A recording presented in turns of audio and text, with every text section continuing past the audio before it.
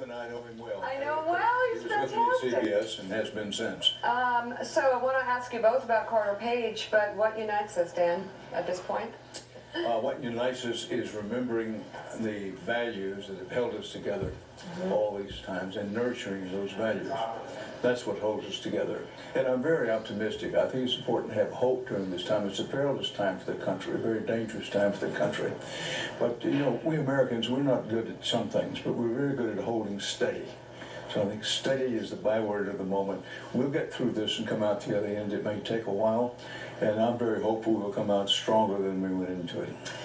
We have this ongoing debate, as you know, Dan, about what patriotism is really. And the latest flashpoint has been in the NFL, where some say it's patriotic to stand for the national anthem. I think most Americans believe that's patriotic, but others have said it's patriotic to dissent. That that's what it means to be an American. When you an American, when you think something is unjust, you ought to dissent. How do we begin to define what patriotism is today? Well, that's one of the things I wanted to discuss in what unites us, is what is patriotism in the second decade of the 21st century.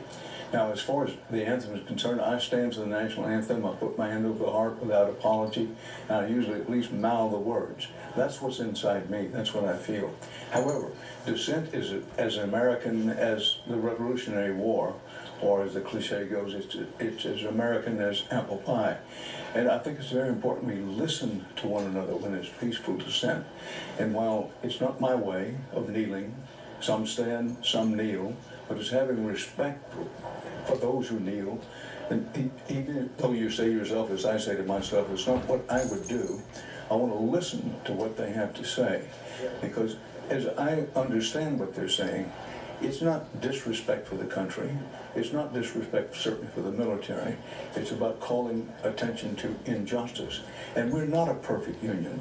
The Constitution says, you know, in order to create a more perfect union, it's always the, the North Star is out there. We want a perfect union, realizing we can't be perfect, but we can keep improving. So I think it's important to listen to one another. And the most important thing is to lower our voices.